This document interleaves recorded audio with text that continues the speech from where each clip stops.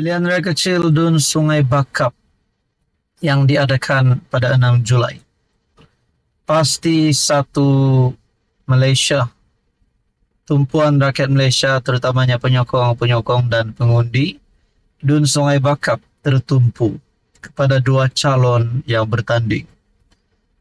Pertempuran satu lawan satu kerajaan perpaduan dan pembangkang melalui calon daripada PH Pakatan Harapan dan calon daripada Perikatan Nasional. Saudara-saudara, undian dalam channel ini sebelum ini telah mendapat keputusan kemenangan kepada calon kerajaan perpaduan. Tahniah diucapkan. Namun itu baru undian daripada channel ini. Namun saudara-saudara ini satu petanda-petanda yang menjadi uh, bualan oleh netizen rakyat Malaysia. Adakah petanda banner Abang Bidin iaitu calon PN yang tiba-tiba terjatuh ini satu petanda calon PN akan benar-benar jatuh di PRK Sungai Bakap ataupun petanda calon PN ini akan menang. Ha, ini reaksi netizen. Banner Abang Bidin tiba-tiba terjatuh. Tular di laman TikTok banner yang mengandungi gambar calon PN PRK Sungai Bakap. Abidin Ismail terjatuh selepas ditegakkan kali kedua. Menerusi video berkenaan, Bena itu terjatuh dua kali ketika sesi bual bicara sedang berlangsung di tepi sebuah tasik. Terdapat dua banner yang diletakkan, yaitu di sebelah kiri dan kanan barisan panelis. Pada mulanya, dua banner itu jatuh serentak, tetapi dapat diselamatkan. Kemudian banner di sebelah kanan pula terjatuh buat kali kedua Situasi itu sekaligus mengundang pelbagai komen netizen yang mengaitkannya dengan PRK Dun Sungai Bakap. Apa tandanya itu? Eh, tiba tumbang banner, petanda awal. Banner itu yang tak ada ISO. Bang Din oke okay je. Demikian antara komentar warga maya. Malah, ada juga netizen yang mata tajam mengkaji pergerakan pokok di belakang lokasi berkenaan. Kalau ramai perasan, pokok belakang tak goyang, kata Asraf. Bagaimanapun dalam video tersebut turut terdengar suara salah seorang daripada tetamu atau panelis yang memberi reaksi spontan tentang kejadian itu. Nampak dak, tu tanda-tanda bahawasanya kita nak menang PRK kali ini katanya. Ah, kalau nak cakap banner ini jatuh ditolak, ditiup angin, ataupun ditarik, uh, mungkin relevan. Tapi kalau tiba-tiba banner ini jatuh, uh, takkanlah ada hantu pula di Sungai Bakap nak kacau calon PN kan? Ha, kalau nak cakap ada hantu, ah, susah juga. Sebab perkara itu rasanya tidak relevan pun. Jadi saudara-saudara, mungkinkah itu petanda-petanda yang baik untuk calon PN?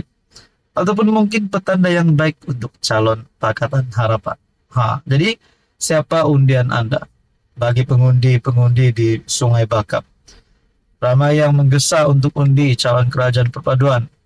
Pengundi Sungai Bakap matang untuk memilih calon kerajaan perpaduan.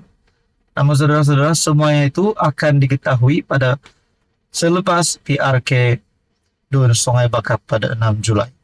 Jadi tuan-tuan apa pilihan Anda, siapa pilihan Anda, dan apa komen Anda berkaitan dengan ini. Jadi, mungkin ada ramalan nenek kebayan yang berkata calon kerajaan perpaduan akan menang. Oh, apa komen Anda? Teruskan bersama di dalam channel ini.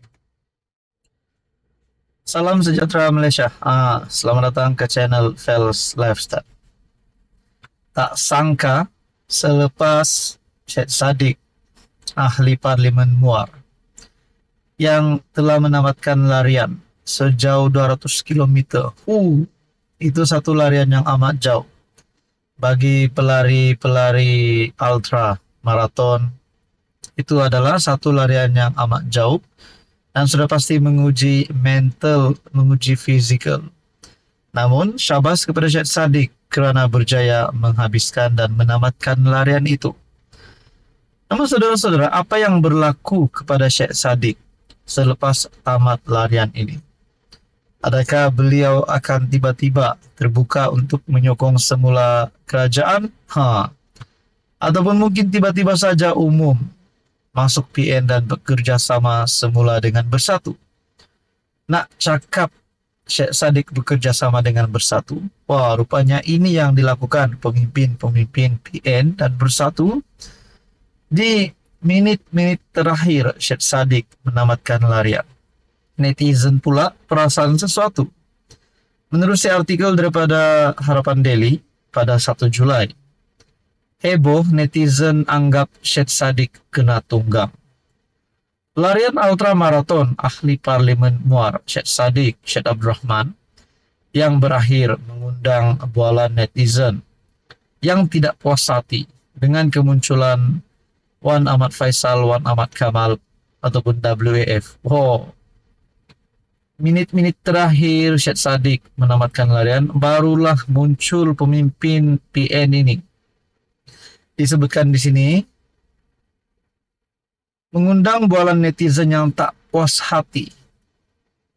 Kehadiran ahli parlimen Macang daripada Bersatu yang secara tiba-tiba itu dipersoal pengguna media sosial dan menyifatkan Syed Saddiq seperti kena tunggang.